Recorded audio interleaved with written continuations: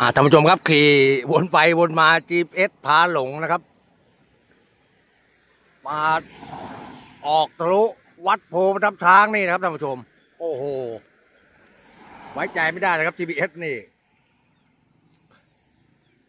ก็อีกประมาณสักสองร้อยเมตรนะครับ ถึงที่ทำงานของพวกเรา ขี่ทะลุมา อ้าว วัดโพประทับช้างแล้วนี่สวัสดีนะครับ พบกับ ทีมงานดองกลางนะครับ ของแท้เลยวันนี้ ว่าสิงร่องส้ม วันนี้ก็ได้มาวิ่งร่องส้ม จริงๆเลยนะครับ มาด้วยกันสองคัน อาจารย์ใบเราร่างกายชำรุดครับ ตอนนี้ก็จะวิ่งได้เพิ่งเริ่มได้แค่ประมาณสองร่องนะครับท่านผู้ชมเนื้อที่ก็อยู่ประมาณสักไม่น่าเกินหกไร่นะ นะครับเห็นบ้านนะครับ บ้านนะแล้วก็ยันต้นไม้นะครับ ถนนนู่นสีรั้วสีฟ้าๆนะครับอ่าวิ่งให้รู้จักครับสิงห์ล่องส้มของแท้ ว่าจะเป็นยังไง เดี๋ยวรู้กันนะครับ ระยะก็ 8 เมตร ความกว้างของร่องนะครับ แล้วความห่างของร่องก็ 8 เมตรนะครับแล้วทีนี้ก็ความสูงนี่ อยู่ที่เจ้าของนะครับจะเอาลึกสักเท่าไหร่ อ่า เดี๋ยวก็เราจะอ่าให้ท่านผู้ชมให้ชมไม่ให้หนำใจไปเลย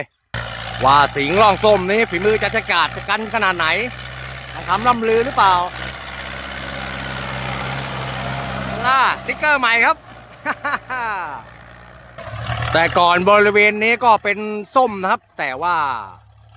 เขาโละทำใหม่ครับ มันสิ้นอายุไขแล้ว ก็อาจจะมีตอส้มเก่าหลงเหลืออยู่บ้างนะครับ นี่นะครับนี่ตอส้ม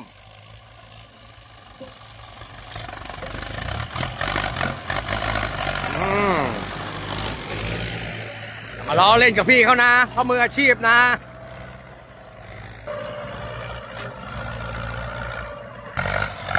อากาศค่อนข้างจะขมุกขมัวยังไงชอบกล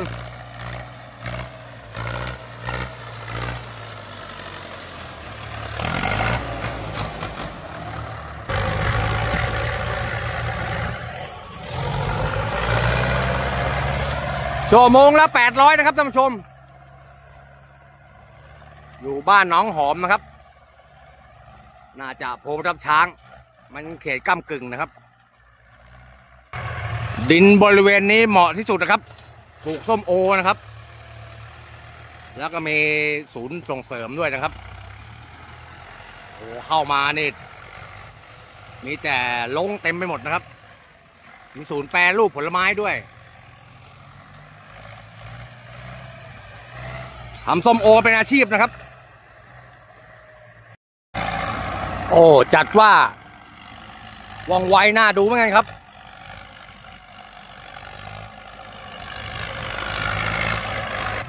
สมกับเป็นมืออาชีพครับไวมาก ผมว่ากะว่าเต็มวันเลยวันนี้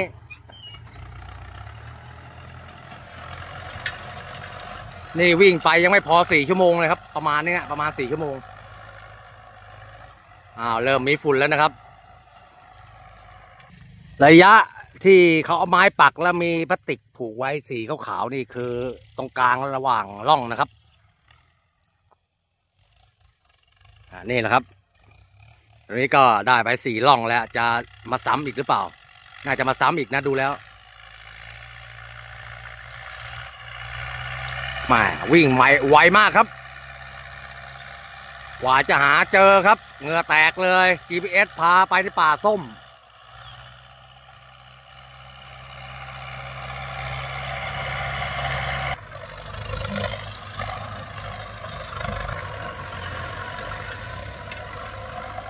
เสียงอบอับอับลากไม้บ้างนะครับ บริเวณนั้น อ่าวิ่งสันแล้วนะครับ พอวิ่งเลาะ ตามแนวธงล่องกลางนะครับ ระหว่างระหว่างล่องนะครับ ตอนนี้ก็วิ่งสันแล้วเดี๋ยวก็จะวิ่งกลับไปกลับมาดึงดินเข้าหากันนะครับ โอ้มีแต่ฝุ่นไม่เห็นเลย ลักษณะการวิ่งก็จะคล้ายๆ การวิ่งคนานะครับ แต่ว่าจะใหญ่กว่าและกว้างสูง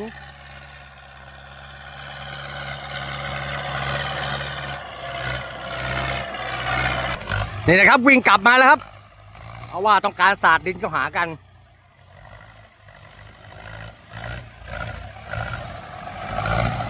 แม่ช่างเข้าขากันนี่เหลือเกินนะครับ วิ่งสับกันไปสับกันมานี่ครับก่อนจะสาดดินเข้าตรงกลางนะครับ ชักดินเข้าตรงกลางนะครับกลางร่อง อ่าพี่เขาบอกว่าก็ไม่ต้องลึกมากเท่าไหร่ครับเพราะว่าบริเวณนี้น้ำไม่ท่วม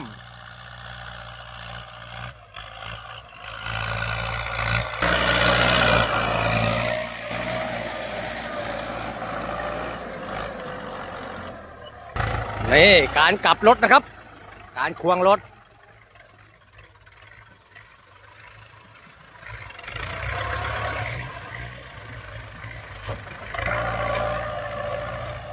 ก็วิ่งกลับมากลับไปอย่างนี้นะครับ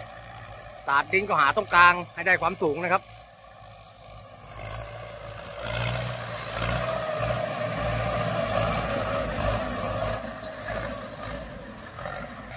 ที่วิ่งไปนี่สี่ล่องนี่ยังไม่สมบูรณ์นะครับ เดี๋ยวจะใช้ใบด้านหน้าเกี่ยอีกทีนะครับ เกี่ยอีกครั้งหนึ่ง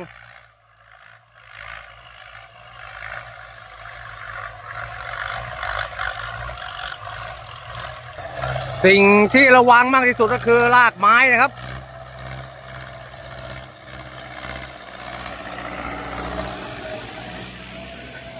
เนี่ยได้ยินไหมครับกบเลย โอ้โหฝุ่น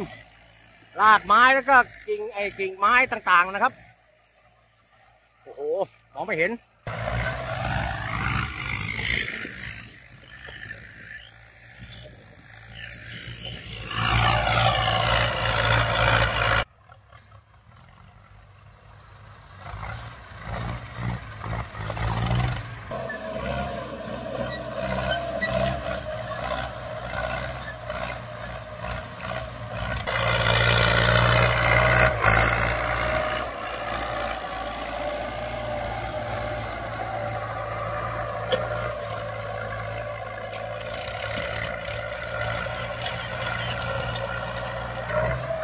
น่าตาดูหูฟังเลยนะครับ มือนี่กำคอนโทรลอย่างแน่น ถ้าเสียงอบอับอับอะไรยกทันที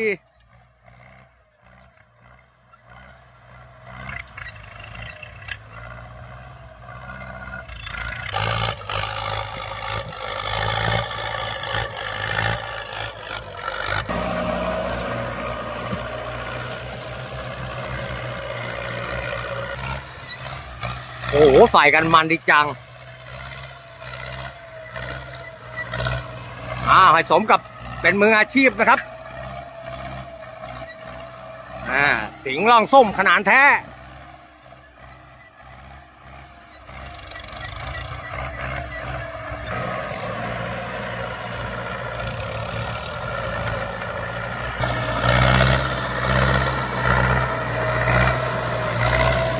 โอ้โห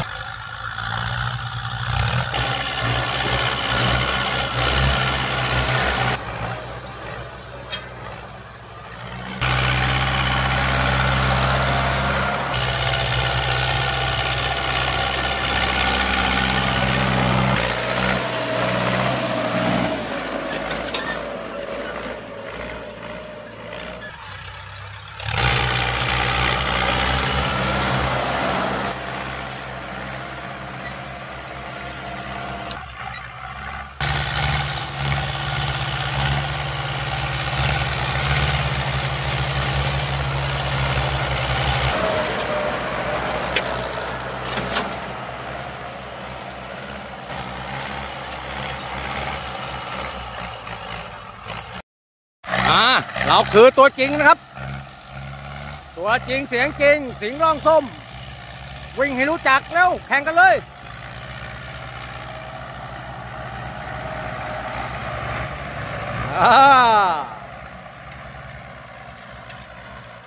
มันเขาละมันเขาละเอาเร็ววางผ่านเร็วมา แซงเร็วแซงเร็วแซง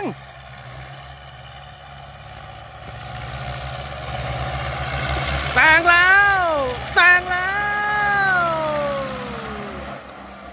โอ้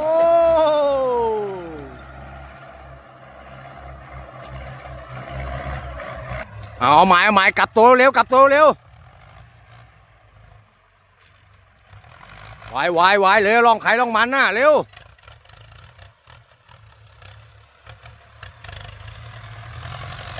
อ้โห ออกตัวก่อนครับ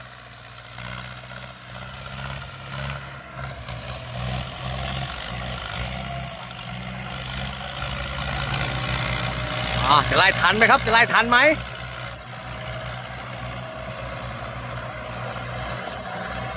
อ้าวคันซ้ายยืดครับคันซ้ายยืด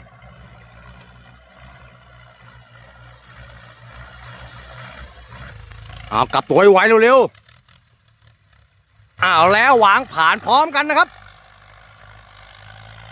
ยังไง ยังไง ยังไงเร็วๆ โอ้โห โอ้โห คันนี้แรงจังครับ เอาเอาเจอลากไม้ครับ โอ้โห พังให้พัง เอาหนูก็เจอเหมือนกันครับ ว่าแหมบันจังเอาวดูสินะครับ ใครจะแซงใครเอาออกตัวแล้วครับ เอาเร็วเร็วโอ้คันนี้แรงจริงครับ โอ้โห ไปฉิวเลย โอ้โหอันนั้นดึงครับดึงครับดึงเชง โอ้ เดี๋ยวต้องสอบถามดิเฟืองหลังเท่าไหร่มาอีกแล้วครับ ออกตัวพร้อมกันนะครับ โอ้รู้สึกว่าคันขวามือเราจะจัดนะครับ เดี๋ยวเราลองถามดิว่าใช้เฟืองเท่าไหร่ อ่าเฉลยนะครับ ตัวนี้เฟืองเจ็ดนะครับก็เหมาะสำหรับไถวิ่งคันนาหรือว่าวิ่งล่องเนี้ยเหมาะ แต่ถ้าตัวซ้ายมือเราโนู่นเฟืองหกครับ จะช้ากว่าแต่ถ้าดันนี่จะสู้เฟืองหกไม่ได้นะครับแมาถึงว่าเวลากระชากทีแสงขาดเลย อ่า ตัวนี้นะครับเฟืองเจ็ดตัวซ้ายมือเราเฟืองหกนะครับ อ่า ตัวนี้นะครับเฟืองหกแต่ถ้าดันนี่จะสู้เฟืองหกไม่ได้นะครับ เป็นความรู้กันนิดหน่อย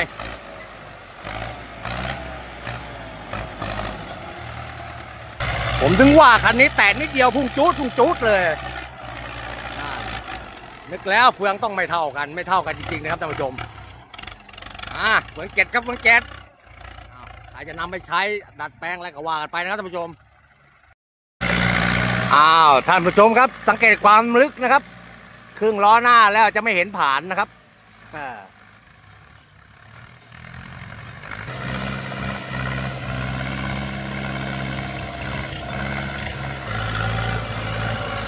นี่นะครับเอียงๆเลย ความลึกของเขานะครับ แต่น้ำไม่ท่วมครับก็จ้าของสวนบอกว่า มันจะเป็นต้องลึกก็ได้ เอาแค่เรียบๆนะครับโน่นจะไม่เห็นล้อหน้าแล้วครับ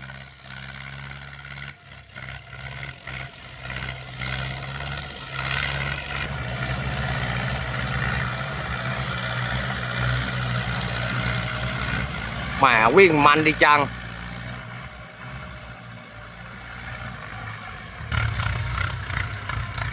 อ่าความลึกนะครับ จะไม่เห็นผ่านแล้วล้อหน้าไม่เห็นแล้วเอ้ยเป็นยังไงครับ ก็ขั้นตอนสุดท้ายนะครับ เราใช้ใบหน้าเกียร์บริเวณหัวคันนะครับ เพื่อใช้อ่าเป็นการเดินรถแล้วก็เก็บผลผลิตนะครับอ่าดูแลสวนนะครับ แล้วแล้วก็จะเกียร์บนสันคันนี่ให้เรียบนะครับ ทุกล่องนะครับ เพื่อเวลาตัดหญ้า จะสะดวกเวลาตัดหญ้านะครับ แล้วก็ในการเพาะปลูกนะครับเกียร์แบบนี้นะครับ เป็นขั้นตอนสุดท้าย แล้วก็ตรงไหนมันสูงมันต่ำยังไงก็ใช้ใบานาน่าช่วยนะครับ นี่เป็นขั้นตอนสุดท้ายนะครับท่านผู้ชม ก็จะประมาณนี้นะครับ ทุกล่อง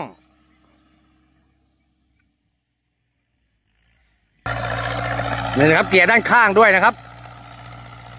สะดวกในตอนใช้รถตัดหญ้านะครับ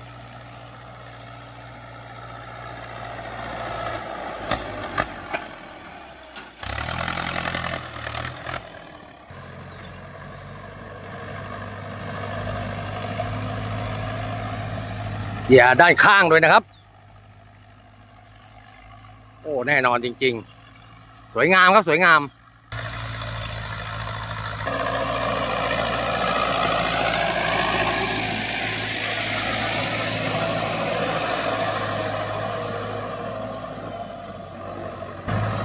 นี่นะครับ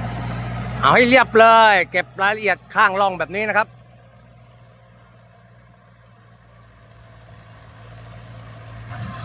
นี่ครับถอยหลังเกียร์ด้วย แต่ว่ามันจะเปลืองชั่วโมงนะครับ ส่วนมากเขาจะไม่นิยมทำกัน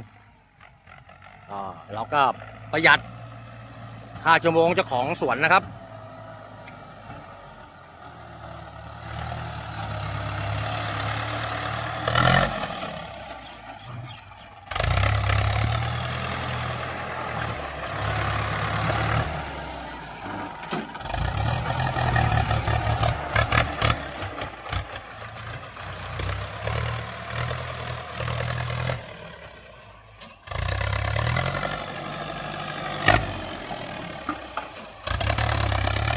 ครับถอยหลังเกียร์ให้เรียบอย่างนี้ครับ แต่ล่องต่อไปเราจะไม่ทำนะครับ อันนี้ทำให้ตัวอย่างให้ท่านผู้ชมดูเฉยๆนะครับ ว่าเขาเกียร์ให้เรียบแบบนี้เพราะว่าเดี๋ยวมันจะเปลืองชั่วโมงจ้าของสวนนะครับแค่นี้เขาก็ลงทุนมหาศาลนะครับ กับการเตรียมพื้นที่ปลูกส้มนะครับ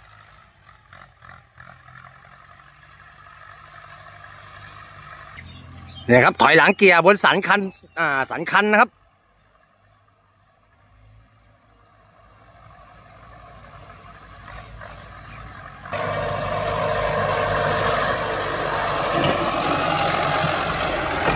นี่นะครับท่านผู้ชมครับเป็นอันว่าเสร็จเรียบร้อยนะครับสำหรับอ่าร่องส้มร่องนี้นะครับท่านผู้ชม เราก็จะทำเหมือนกันอย่างนี้ทุกร่องนะครับ แต่เราจะไม่ใช้เกียร์นะครับ เราใช้ใบด้านหน้าอย่างเดียวไปกลับไปกลับข้างบนข้างๆแล้วก็อ่ากระด้านด้านบนแล้วก็ด้านข้างสองข้างนะครับ เพราะว่ามันจะเปลืองชั่วโมงเขาเนี่ยครับดันข้างบนแล้วก็ดันข้างๆนะครับ พอเป็นอันจบสิ้นทำแบบนี้ทุกร่องนะครับแล้วก็เอาไว้เพียงเท่านี้นะครับท่านผู้ชม พบกันใหม่โอกาสหน้านะครับ เราจัดให้แบบสะใจแล้วนะท่านผู้ชม สวัสดีนะครับ